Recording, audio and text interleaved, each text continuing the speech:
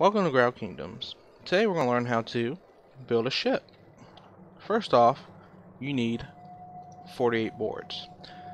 To get those, you need to first plant a tree, chop it down, and take it to one of the cutting mills like this. After you get all that wood, you come to one of the platforms that looks just like this. Two pieces of logs going straight down, and two lines going straight across. And what you will do, you'll tap A and you'll start building your ship. You can do A and tab to do it quickly on your keyboard. And once done, there's your ship. Then you just swim over to it, jump on board, and sail off into the ocean. Alright, well, thanks for stopping by, and y'all have a wonderful day. Thanks for watching. Don't forget to subscribe.